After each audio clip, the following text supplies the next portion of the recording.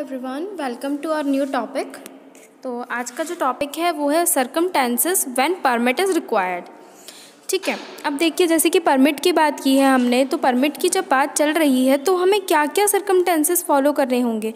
क्या क्या चीज़ें हमें रिक्वायर्ड होंगी? ठीक है तो जो चीज़ें रिक्वायर्ड होंगी, वो किस लिए होंगी? जैसे कि अब मान लीजिए आपको कन्फाइंड स्पेस में वर्क करना है। अब आपको कन्फाइंड स्पेस में वर्क करना है तो उस प्लेस पे आपको क्या क्या चीज़ें लगेंगी काम करने के लिए? है ना? तो जो काम करने के लिए जो सामान लगेगा जैसे कि आपको कन्फाइंड स्पेस में आ, क्या हो सकता है ऑक्सीजन लेवल नहीं मिलेगा उतना। सांस लेने में प्रॉब्लम हो सकती है तो आपको बी सेट लेना होगा है ना? तो और भी ऐसे इक्विपमेंट्स रहते हैं जो आपको बेयर करना बहुत ज़रूरी है। हाइट पे वर्क चल रहा है तो आपको क्या क्या चीज़ें ज़रूरी हैं? ठीक है क्या क्या इक्विपमेंट आप लेके जा रहे हैं? कौन से ज़रूरी हैं, कौन से नहीं हैं? ये सारी बातें। ठीक है तो इसका पर्पस देखिए क्या, सबसे पहले तो यही होता है कि अगर हाई प्रेशर पे वर्क करें हाई टेम्परेचर पे वर्क वर्क करें फ्लेमेबल सब्सटेंस पे वर्क करें कोरोजिव सब्सटेंस या टॉक्सिक गैसेज किसी पे भी आप वर्क कर रहे हैं तो ये सारे क्या है हजार्डियस मटेरियल है, ठीक है? हजार्डियस वर्क प्लेस हो रहा है ये तो इसके लिए आप सेफ्टी रखने के लिए आपको जो वर्क परमिट इशू किया जाएगा, वो तभी किया जाएगा तब वहाँ पर पूरी तरीके से सेफ्टी एप्लीकेबल हो।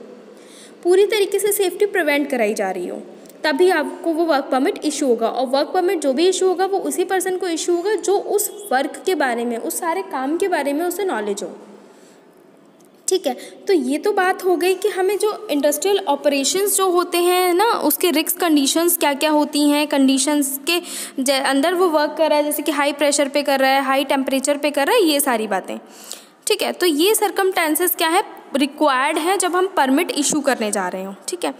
अब इनका पर पर्पस क्या होता है? इसमें देखिए क्या होता है कि अपन इंश्योर कर रहे हैं खुद को वर्क जो भी हम कर रहे हैं, वो पूरा सेफेस्ट हो रहा है और पॉसिबल मैनर में हो रहा है। मतलब जो काम करने का तरीका है, वो बिल्कुल सही तरीके से जा रहा है डायरेक्शन बिल्कुल सही जा रहा है और जो सेफ्टी है, वो भी बहुत अच्छे से मेंटेन करी जा रही है, ठीक है?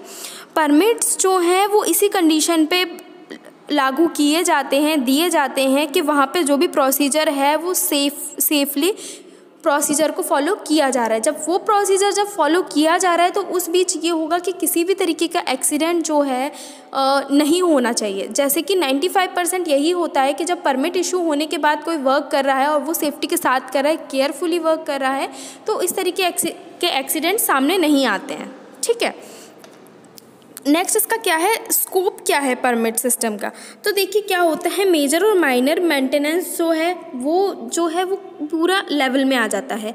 क्योंकि मेजर और माइनर एक्सीडेंट जो है, उनको हम रोक सकते हैं। ठीक है? अब किसी एंट्री किसी कन्फाइंड स्पेस में एंट्री कर रहे हैं आप तो उसके लिए क्या है? उसके लिए जो जो होने वाले खतरे हैं, वो आपने पहले ऑब्ज़र्व कर लिए। ऑब्ज़र्व करे तो क्या किया आपने? उसको एलिमिनेट किया। एलिमिनेट करने के लिए क्या किया? जो जो एक्सीडेंट्स अंदर आप जो जो चीज़ें फेस करने वाले हैं, उसको पहले ऑब्ज़र्व कर लिया गया।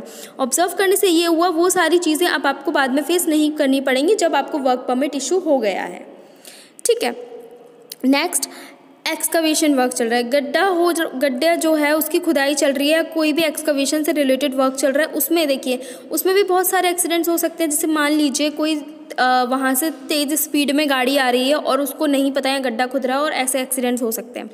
तो उसके लिए आपने क्या सेफ्टी रखी है? क्या वर्क परमिट इशू किया है? जो काम कर रहा है, क्या उसे एक्सपीरियंस है ऐसे काम करने का? कि कि कैसे काम करना है, किस तरीके से उसको करना है, तभी तो हो पाएगा ना। तो देखिए, इसमें ये भी चीज़ क्लियर हो जाती है कि जो काम कर रहा है, उसको काम की नॉलेज है और इस तरीके से अगर वर्क होगा तो एक्सीडेंट नहीं हो पाएँगे। ठीक है? इसी तरीके से आपको किसी भी हॉट वर्क में कोल्ड वर्क में जाना है, वहाँ पे वर्क करना है तो उधर के लिए आपको क्या क्या सेफ्टी रखनी है? वो सारी चीज़ें। वर्क एट हाइट कर रहे हैं आप। अगर आप किसी भी हाइट पे वर्क करने के लिए कोई इक्विपमेंट लोडेड करके ले जा रहे हैं तो वो आपको क्या क्या यूजेबल चीज़ें हैं क्या क्या नहीं हैं, जो यूजेबल है सिर्फ़ आप वही लेके जाएँ और जो भी हाइट पर वर्क कर रहे हैं, जिस भी प्लेटफॉर्म पर करें, क्या वो वेल मेंटेन्ड है? क्या उसके पास इतनी स्पेस है जो आप एक्स्ट्रा इंस्ट्रूमेंट रख सकें, वहाँ पे इक्विपमेंट्स रख सकें? ये सारी चीज़ें भी चेक की जाती हैं। ठीक है, और सबसे बड़ी चीज़ यही है कि जो आपने पी वेयर की हुई हैं, क्या वो मतलब वेल मेंटेन्ड है? ऐसा तो नहीं, वो डैमेज कंडीशन में हो और आपने उनको वेयर कर लिया, उसके बाद अगर आप गिरते हैं तो वो को सपोर्ट ना करें। तो ये सारी चीज़ें भी वर्क परमिट के टाइम पर चेकआउट कर ली जाती हैं। तो सरकमटेंसेस यही हैं इसके। सारे जब भी रिक्वायर्ड होता है वर्क परमिट तो रिक्वायर्ड जो होता है वो इसीलिए रिक्वायर्ड होता है कि कोई भी काम अगर कोई भी करने जा रहा है, किसी भी वर्क को करने जा रहा है तो उसको श्योरिटी तो रहे कि ये काम बहुत ही सेफ़ तरीके से यहाँ पे हो सकता है। ठीक है? तो ये जो एक टॉपिक है, इसमें यही बताया गया है कि परमिट का मतलब असली यूज़ है क्यों? क्यों यूज़ किया जाता है? क्योंकि देखिए, बहुत सारे परमिट इशू करने पड़ते हैं। इस वर्क को आप, अगर आप हाइट का वर्क करने जा रहे हो हाइट परमिट मिलेगा, ये हाँ ये वर्क करने जा रहे हो तो ये परमिट तो हर वर्क को करने के लिए परमिट इसीलिए इशू किया जाता है ताकि जो काम है वो एक्सीडेंट फ्री रहे, है ना? एक्सीडेंट फ्री रहेगा तो हमारी इंडस्ट्री में जो भी होने वाले एक्सीडेंट है वो रुकेंगे। एक्सीडेंट्स का जो लेवल है वो कम होगा। लिस्ट मेंटेन जो हो रही है उसमें एक्सीडेंट डिक्रीज़ होते हुए आपको दिखेंगे। तो ये सारी बातें इसके अंदर आती हैं। ठीक है? तो इस तरीके से होने वाले एक्सीडेंट्स को आप कहीं ना कहीं रोक सकते हैं। तो यही है कि जब भी आप क्वेश्चंस का भी यूज़ कर सकते हैं, जब भी आप क्वेश्चंस लगाते हैं किसी भी काम के लिए होने वाले एक्सीडेंट्स को रोकने के लिए तो क्वेश्चंस भी बहुत हेल्प करते हैं, जैसे कि डेंजर आपको वहाँ नहीं जाना। तो ये सारी चीज़ें तभी कर दी जाती है जब परमिट इशू हो रहा होता है। जब परमिट इशू होने के बाद जब वर्क स्टार्ट हो जाता है, उससे पहले ये सारे प्रोसीजर फॉलो कर दिए जाते हैं। ठीक है? तो ये मैंने आज आपको सरकमटेंसेस के बारे में बताया। Circumstances when permit is required ठीक है?